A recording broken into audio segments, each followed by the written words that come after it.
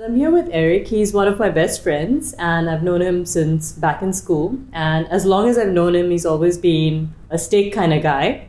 But over the last year or so, that's gone 180. And I'm here to talk to him about, you know, what actually made that change. What was your philosophy behind the whole thing? So I was getting married, and my at the time fiance wanted me to include more vegetables in my diet because I thought I was eating healthy, although it was a completely meat dominant diet. And this is more than a year ago, a year and a couple of months ago, where we sat down to watch a couple of documentaries. Now, this was totally a hit or miss in her for her. There was a commercial one called What the Health, and then there was which I wasn't completely 100% sold on. And then the second one was Forks Over Knives 50% into that documentary while eating a burger, the very taste of that burger changed. And that, and so the documentary wasn't about animals. It was about us, our health, our wellness. They were talking about symptoms that I was seeing in my own life, and I was 30 years old. And a switch flipped in my head, and that was it. But it's not just been um, a change in uh, the way you eat. It's been a lifestyle change for you as well. I always exercise. I tried, I've got borderline obesity in my family. So I've never wanted to go into that direction. So I've always tried to stay in shape, exercised, doing a whole bunch of crazy things. Um, that's how my wife would term it, and her mom, and my mom, and everybody. Okay, anyways. Um, but it kind of changing the way I ate changed a bunch of things on its own. The way I would sleep changed. The kind of sleep I'd get changed. The, the way I'd wake up, how I would feel.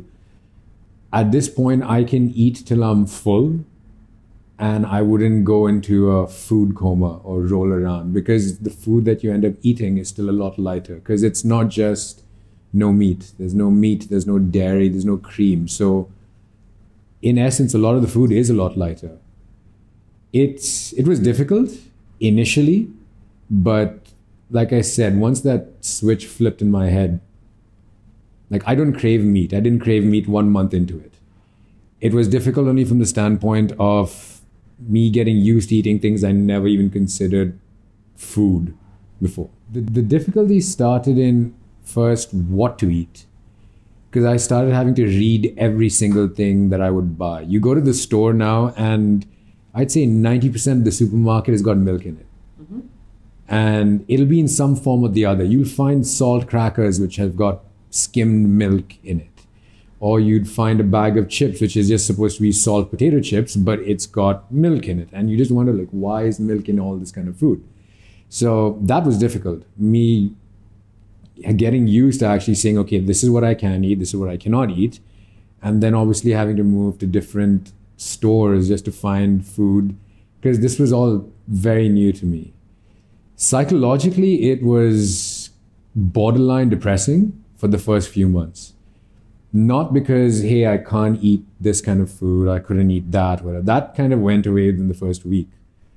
Um, but because I would exercise and I would lift weight, I lost a lot of weight. I basically shrunk. Everything, I dropped clothes sizes, I dropped like, I don't know, I probably lost about 17 or 18 kilos over the course of three months. Not doing anything different except just changing the way I ate. And that also affected my muscle growth. So it went from being able to deadlift a massive amount of weight to not even being able to pick up half of that. And that was borderline depressing. Because for me, I was like, okay, I'm doing all of this to make myself feel better, but now I'm feeling crappy because, hey, you know, I worked so hard to do that and now I can't do any of it. But yeah, so it's it does take a toll on you and it's something you have to be prepared for. So you spoke a little bit about labels um, a little while ago. Um, what is it exactly that you look for when you look at labels to make your decisions in terms of you know what's really good for you? If you don't know what it means, don't buy it. Mm-hmm. Simplest thing. If it's got some massive scientific name, don't buy it. If the expiry date of, of a product is six months and you know that if you got it from the raw source and you kept it on the counter for a week, it would go bad. Don't buy it. So make small changes. I 100% will not say I'm not perfect with this. I do eat preserved foods. I eat chips. I eat crackers and stuff like that. But try to minimize it. So even if you're going and buying like fresh juice, in this one and a half year, I've realized that there are like 50 ways a brand can disguise the word sugar. They will say it is sugarless and it's got a whole bunch of other nonsense where if you looked up the meaning, it is basically sugar. So there's a common conception or other misconception that people have that um, being vegan or vegetarian means that you need to spend a shitload of money. Um, you need to only eat salads and fruits. So if you need to go out and buy some good meat for steak, it's going to cost you. For a quarter kilo of good steak meat, it costs you quite a bit. Same thing. If you buy go and buy good chicken and not just frozen chicken, it costs you. So it's kind of just substituting one type of food over the other. I guess the only difference is you're not used to seeing a price tag on something which is non meat to be that high. Of course, um, variety is a big deal. It, it is difficult. You have to go from one place to another. Stores are also changing, so it's become it's becoming easier because I guess they are becoming a little bit more in the know of hey, this is what people are preferring. So it don't get intimidated. It's if you do the mathematics behind your grocery bills, like my grocery bills never changed. It's just that what I put in my grocery trolley changed. So, on that note, um, what's cooking for dinner this week? What's cooking this week? um, we just got back from the groceries. No, I don't like cauliflower.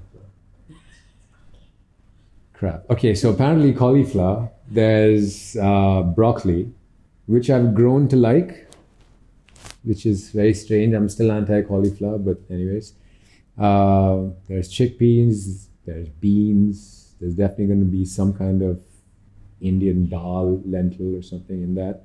Whole bunch of fruit. So there are apples. There's grape. There's you've got two types of grapes as well. There are berries, orange, and there's nuts. And of course, I've got my indulgences. There is some kind of chips or crackers, but I limit that.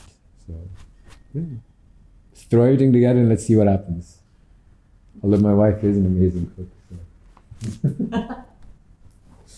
yeah, thank you.